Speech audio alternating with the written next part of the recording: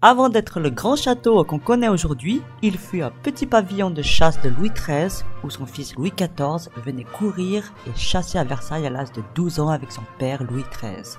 Devenu grand, Louis XIV décida de transformer le pavillon en un magnifique palais d'apparat pour montrer sa grandeur et sa puissance. Louis XIV fut le monarque ayant le plus long règne de l'histoire de France, de 1643 à 1715, soit 72 ans de règne. C'est en 1668 que Louis XIV décida de réemménager le château de Versailles. Louis le Vau enveloppa le pavillon pour agrandir le château et construisit les deux appartements du roi et de la reine qui sont symétriques, orientés est et ouest. Chaque pièce du grand appartement du roi est dédiée à une divinité gréco-romaine. Depuis le salon haut, nous avons la vue de la chapelle depuis la tribune royale où le roi assistait aux messes avec ses membres proches de la famille.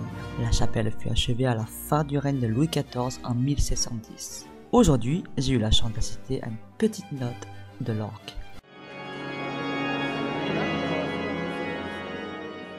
Dernier salon construit sous Louis XIV et terminé sous Louis XV, le salon d'Hercule est le plus vaste salon et il est fait de marbre et de bronze. Le repas de chez Simon, avec le Christ au centre de Paul Véronèse, un grand peintre vénitien du XVIe siècle, fut offert par la République de Venise au roi Louis XIV. Le plafond a été peint par François Lemoine avec ses 142 personnages avec en son centre, Jupiter, le roi des dieux, et son aigle. Hercule, héros de la mythologie ancienne, se tient face à Jupiter sur son char avec une massue à la main. Il vient de terminer ses douze travaux et se dirige vers l'Olympe, la demeure des dieux. L'artiste, fatigué par tous les travaux, mettra fin à ses jours quelques mois après avoir achevé cette œuvre. Le salon de l'abondance ouvre aux grands appartements du roi où Louis XIV rassemblait ses trésors et ses objets précieux. Ces objets ne sont plus dans le château aujourd'hui. Ils sont conservés au Louvre et dans la Bibliothèque nationale de France. Sur les murs, les portraits des héritiers de Louis XIV. Nous avons Philippe V d'Espagne, deuxième fils du grand dauphin et petit-fils de Louis XIV. Louis de France appelé Monseigneur ou le grand dauphin, fils aîné de Louis XIV. Louis de France, et oui, encore un autre, fils du grand dauphin et les pieds de Louis XV, arrière-petit-fils de Louis XIV. Le salon de Vénus est fait de marbre de toutes les couleurs. Il servait aux soirées d'appartements pour occuper les courtisans, notamment pendant les saisons d'hiver. On servait des collations et des boissons. Le plafond est peint par René Antoine Wass qui représente Vénus, déesse de l'amour et de la beauté entourée de guirlandes de fleurs. Elle est couronnée par trois femmes. Dans une niche du salon, nous apercevons la sculpture par Jean Warin de Louis XIV en roi guerrier conquérant avec sa cuirasse. Un ennemi vaincu est à ses pieds où le roi le tient avec son bâton de commandement. De l'autre main, nous reconnaissons facilement le monstre mythologique Méduse sur son bouclier. Méduse représente la capacité du roi à terroriser ses adversaires. Le billard du roi se trouvait dans le salon de Diane. Pendant que le roi jouait avec ses convives, les courtisans se montraient et espéraient attirer son attention pour gagner des faveurs et des privilèges du souverain. Le buste de Louis XIV est le chef-d'œuvre de Lorenzo Bernini, appelé aussi le second Michel-Ange, qui représente Louis XIV quand il avait 27 ans. À gauche, une dame romaine en marbre blanc avec les cheveux noués sur la tête, et à droite, une impératrice romaine en marbre blanc avec son diadème. Le plafond est peint par Louis-Gabriel Blanchard qui représente Diane, déesse de la chasse et de la nature avec une ligne très lumineuse qui éclaire les scènes de chasse. D'origine salle de garde du roi, le salon de Mars fut transformé en salon de musique et de danse. Sur les murs, nous voyons le portrait de Marie Ledinska, femme de Louis XV. Et la peinture de Charles Lebrun représente Alexandre le Grand en vainqueur avec son lieutenant devant la tente du roi perse vaincu, Darius. La femme au pied du lieutenant est la mère du roi perse. L'empereur lève la main vers le sol en signe de clémence. Là, nous avons le portrait équestre de Louis XIV peint par René Antoine Wass. Nous avons une autre peinture de Véronèse qui représente une scène religieuse et le portrait de Louis XV. Quant au plafond, nous apercevons Mars, dieu de la guerre et de la violence, sur son char tiré par le loup au-dessus du champ de bataille. Le salon de Mercure est la chambre d'apparat où se trouve le lit d'apparat du roi. Ce dernier n'y dormait pas, c'est juste pour les grandes cérémonies publiques du grand lever et coucher. Durant les soirées, ce salon se transformait en salle de jeu d'argent. À la mort de Louis XIV en 1715, son cercueil fut déposé ici à la vue de la cour. Sur le mur est accroché le portrait de Marie Ledinska en manteau de sacre par Louis Toquet. Voyez la pendule automate d'Antoine Morand. C'est une merveille technologique de l'époque. Toutes les heures sont marquées par le tâtement du carillon avec le roi qui apparaît sur un piédestal couronné par un ange sortant des nuages. Sur les murs, nous avons aussi le Saint Jean l'évangéliste écrivant l'Apocalypse. et le portrait de Louis XVI en costume sacre peint par Joseph Duplessis. Au plafond, nous voyons Mercure, messager des dieux et dieu des arts et du commerce sur son char tiré par deux coqs. Le plafond a été peint par Jean-Baptiste de Champagne. Avant d'être la salle du trône, le salon d'Apollon était la chambre du roi. Les personnes s'inclinaient devant le trône, que le roi soit présent ou non. Lors des soirées d'appartement, le salon se transformait en salle de danse. La peinture a été réalisée par Hyacinthe Rigaud, représentant Louis XIV à ses 64 ans, vêtu en tenue de sacre il porte un grand manteau bleu doublé d'hermine et orné de fleurs de lys ainsi que la croix de l'ordre du Saint-Esprit. La couronne royale symbolise la royauté, la main de justice indique l'autorité et la clémence. L'épée de Charlemagne incrustée de pierres précieuses représente l'armée et sa puissance. Enfin le sceptre surmonté d'une fleur de lys symbolise le pouvoir de commandement. Le plafond été peint par Charles de la Fosse qui met en scène Louis XIV en tant que roi soleil. Apollon est aussi associé au soleil, dieu des arts et de la musique. Il est assis sur son char céleste tiré par quatre chevaux. Les deux femmes qui se trouvent à ses pieds sont l'allégorie de la magnanimité et la magnificence. Nous avons la Louise XVI en costume de sacre peint par Antoine-François Caillet. Le salon de la guerre a une ambiance sobre avec une couleur grise claire. Il met en avant la puissance militaire du roi Soleil et sont déposés les trophées qui témoignent des succès militaires de Louis XIV. Dans ce médaillon, le roi est représenté victorieux de ses ennemis écrasés sous son cheval. Sous le médaillon, nous remarquons deux hommes défaits aux mains liées encadrant un portrait d'Hercule aux pattes du lion qui a vaincu le lion de Némée lors de ses douze travaux. Construite entre 1678 et 1684 par Jules Ardois-Mansart, la galerie des glaces reflète la puissance économique, politique, militaire et culturelle de Louis XIV. Là étaient exposés les vases et les meubles d'argent. C'est dans cette galerie que le roi recevait les ambassadeurs étrangers. Ici ont aussi lieu les plus belles fêtes de la cour et durant la journée, le roi s'y promenait profitant de la lumière qui pénètre par les grandes fenêtres et réfléchit sur les miroirs. Ces derniers ont été fabriqués par la grande entreprise française Saint-Gobain. Les peintures au plafond représentent les grandes victoires militaires du roi et de ses principales réformes administratives et économiques. C'est au cabinet du conseil que le roi réunit ses conseillers et ministres chaque matin pour parler affaires et prendre des grandes décisions politiques, économiques et militaires. Ici se déroulaient aussi les réunions familiales après le souper. Contre le mur est représenté le buste d'Alexandre le Grand en roche volcanique rouge. Et la cheminée est la même couleur, mais elle est en marbre griotte.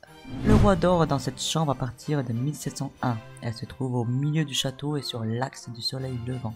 Les courtisans soigneusement choisis par le roi assistaient chaque jour au petit lever et coucher du roi. Deux cérémonies qui rythmaient la vie de la cour. La balustrade sépare le lit de la chambre pour matérialiser la frontière symbolique et met en scène le quotidien du roi. C'est dans cette chambre que le roi Louis XIV est mort le 1er septembre 1715. Dans cette pièce, nous avons le buste de Louis XIV par Antoine Sauzevox, une pendule baromètre et un tableau d'Agar et l'ange par Giovanni Lanfranco au centre. Les deux autres, je ne les connais pas.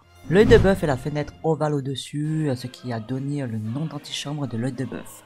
Les gardes veillent nuit et jour sur le roi et c'est ici que les privilégiés attendent aux portes de sa chambre le petit lever et le petit coucher du roi. Dans sa chambre, nous avons la peinture équestre de Philippe de France, duc d'Orléans, frère unique de Louis XIV, par Pierre Mignard. Et sur le grand tableau, Louis XIV est entouré de sa famille. Chaque personnage porte des vêtements d'un dieu gréco-romain. Louis XIV est représenté sous les traits d'Apollon, son épouse sous les traits de Junon, reine des dieux. Le salon de la paix était utilisé pour la musique et les jeux. Ici, l'épouse de Louis XV, Marie Lesinska, donnait des concerts de musique. Quant à Marie-Antoinette, épouse de Louis XVI, elle y jouait de fortes sommes au ou à des jeux du hasard, ce qui entraîne de grosses pertes d'argent. La chambre de la reine est la pièce principale des appartements de la reine. Les dames de la cour venaient à la rencontre de la reine dès son lever. C'est à cet endroit aussi que se déroulait l'accouchement de la reine des héritiers du trône et vérifier que le prince était bien le fils de la reine. Au total, 19 enfants sont nés ici, dont le futur roi Louis XV.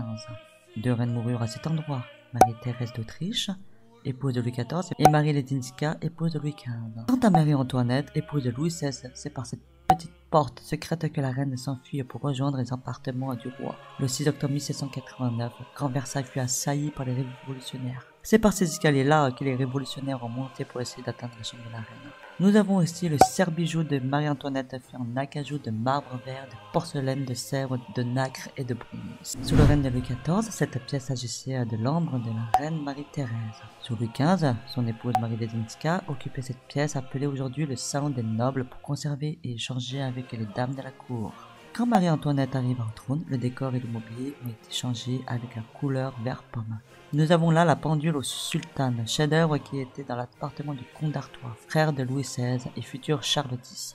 Regardez le beau portrait de Louis XV en tenue sacre. Et au plafond, nous avons Mercure, messager des dieux, entouré de femmes de l'Antiquité. C'est dans l'antichambre du grand couvert où se déroulaient les repas publics de la famille royale. Autour d'eux se pressaient les membres privilégiés de la cour. Devant la table, des tabourets accueillaient des aristocrates de haut rang tels que les ducs et les princes, tandis que les autres membres de la cour se tenaient debout. Nous pouvons apercevoir le portrait de Marie-Antoinette avec ses enfants peints par Elisabeth Vigée-Lebrun. Là, nous avons Louis-Joseph, Louis-Charles, et Marie-Thérèse Charlotte. On quitte le 16e et le 17e siècle, entrons dans le 19e siècle dans le musée d'histoire de France créé par le dernier roi de France, ou des Français, Louis-Philippe d'Orléans, 50 ans après la Révolution française de 1789. Son but de cette création était de réconcilier les Français qui étaient divisés. Nous retrouvons une copie du tableau du sacre de Napoléon Ier dans la cathédrale Notre-Dame de Paris le 2 décembre 1804, peint par Jacques-Louis David. Sans prendre en compte le pape Pie VII, Napoléon couronne puis couronne son épouse Joséphine. À la demande de l'empereur, l'artiste ajoute au centre de la toile le portrait de sa mère Marie-Laetitia Bonaparte qui avait refusé d'assister à la cérémonie.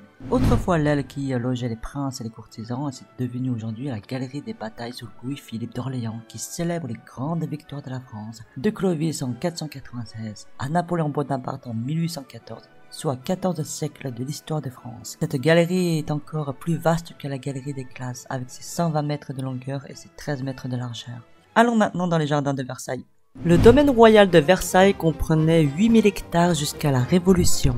Aujourd'hui, sa superficie est de 830 hectares. Sa réalisation a été confiée dès 1661 à André Le Nôtre, architecte jardinier du roi Louis XIV. Amoureux de ses jardins, ce dernier avait pour habitude de s'y promener tous les jours quand le beau temps était au rendez-vous. Les statues en marbre sont aujourd'hui protégées par des toiles l'hiver. C'est pour cela que je n'avais pas pu profiter de ces chefs-d'œuvre le jour de ma visite. Et voilà, je suis euh, à l'orangerie à Versailles. L'orangerie était la plus grande au monde à l'époque de Louis XIV. J'ai descendu un des deux escaliers pour admirer le parterre et ses broderies végétales, caractéristiques du jardin à la française. Orienté en plein sud, sa façade est rythmée par de grandes arcades pour pénétrer le soleil sous sa voûte de 13 mètres de hauteur. Dans les jardins de Louis XIV, l'eau devait être présente de partout, en grande étendue, en bassin, cascade ou en fontaine. Les statues de bronze cachées sous les bâches entourent le parterre et représentent les grands fleuves de France sous la forme de vieillards barbus. André Le Nôtre maîtrisait la science de l'illusion d'optique, notamment avec le grand canal qui fait 1 km 700 de longueur et qui prend la forme d'une croix. À mesure qu'on s'éloigne du château, ses proportions s'élargissent. Le canal est l'endroit où s'organisaient des grandes fêtes et où le roi naviguait au son du violon et contemplait les décors féeriques à la tombée de la nuit. Dans le prolongement sur la droite se trouve le Grand Trianon, tandis qu'à gauche se trouvait la ménagerie royale avec autrefois des animaux rares des éléphants, des autruches, des rhinocéros, etc.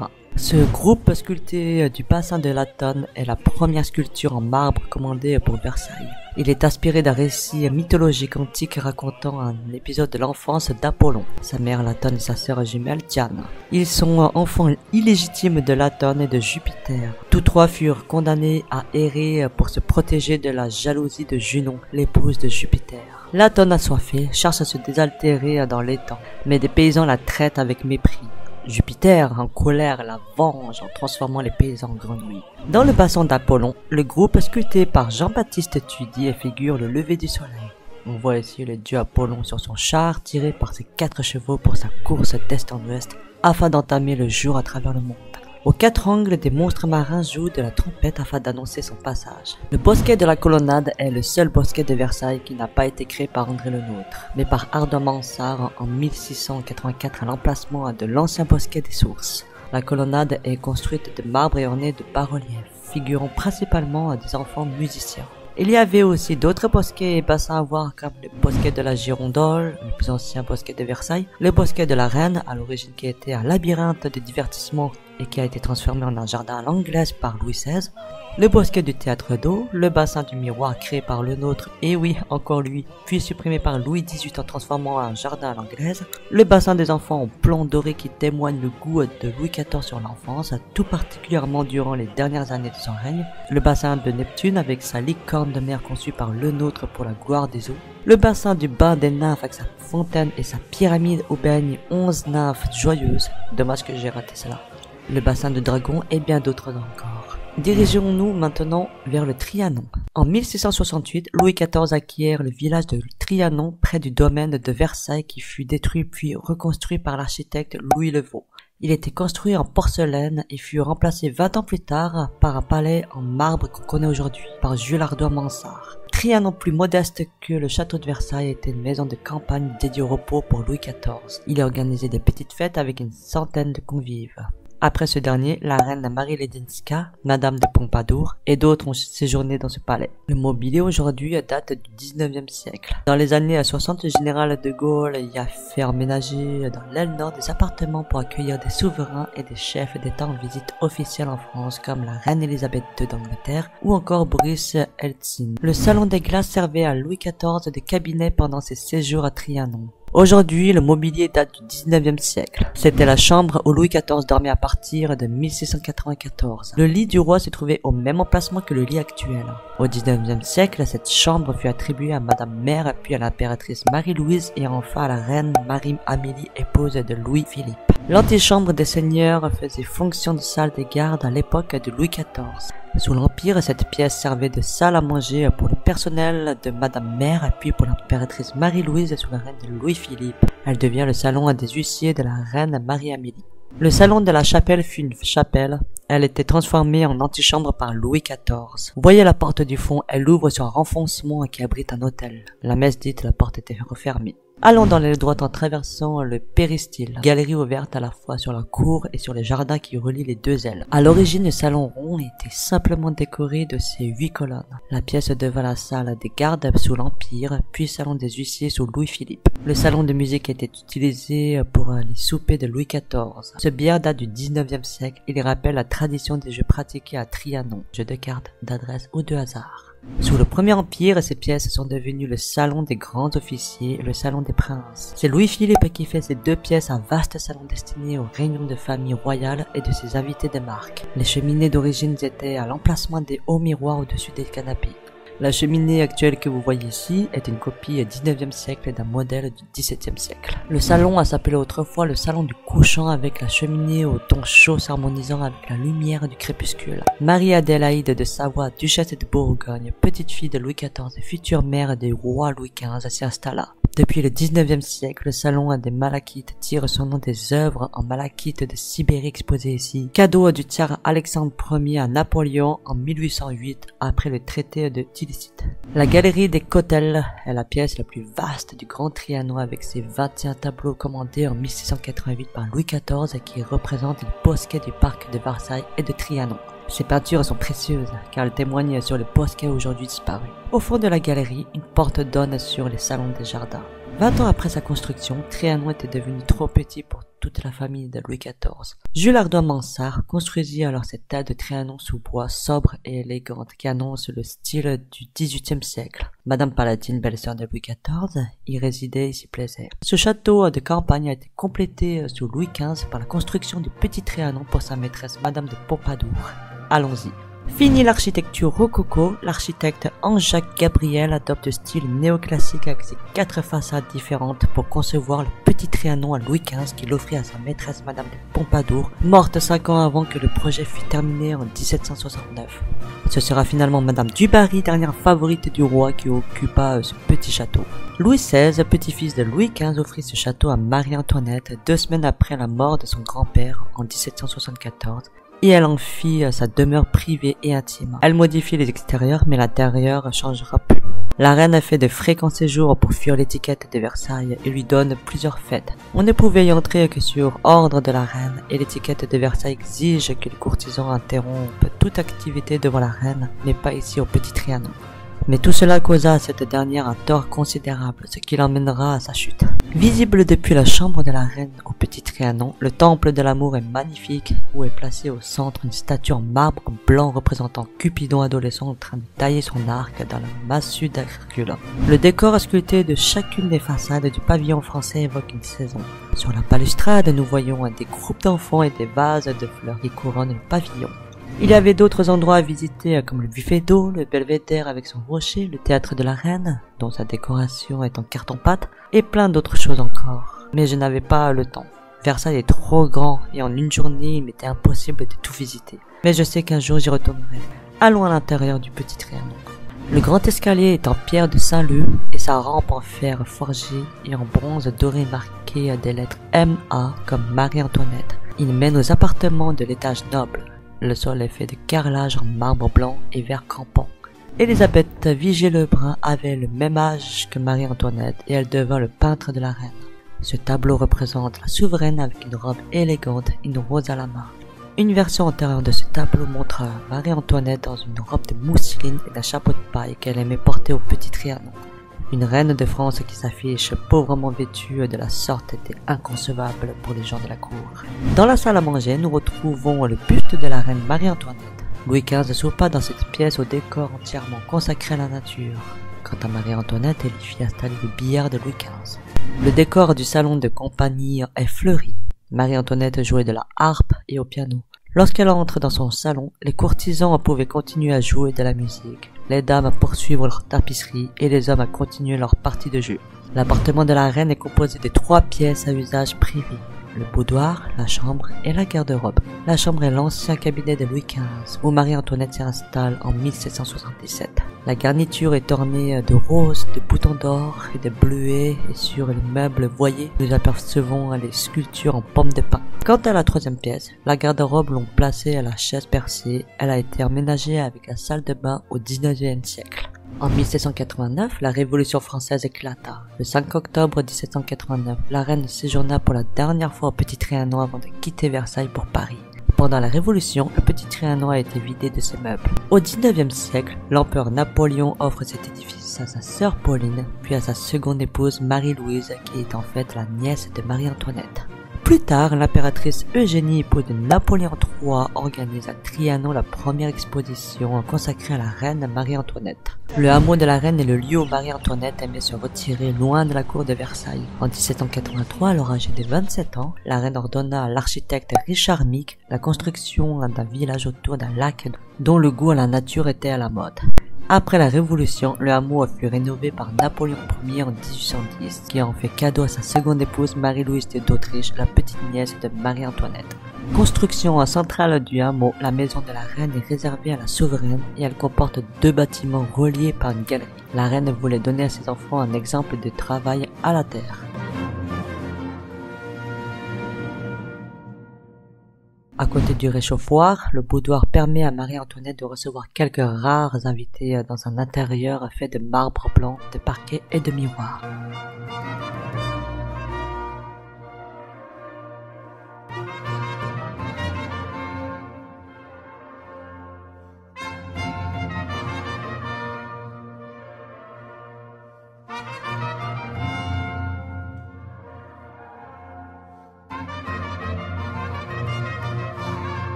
Conçu pour l'activité agricole, le poulailler aussi appelé le colombier ou le pigeonnier accueillait des pigeons, des poules pondeuses, des coqs et des poulets spécialement choisis par la reine. La personne chargée de ces élevages vivait au rez-de-chaussée. Il disposait d'un jardin potager où se trouvaient des artichauts, des choux-fleurs, des haricots verts, noirs et des petits pois. La tour de Marlborough servait de local pour le matériel de la pêche. Elle tient son nom d'une célèbre chanson composée en 1722 à la mort du général anglais Marlborough, tirée de la pièce de théâtre Le mariage de Figaro. À Versailles, la nourrice du dauphin, Madame Poitrine, avait pour habitude de la chanter tant pour le plaisir de l'enfant dauphin que pour celui de la reine Marie-Antoinette.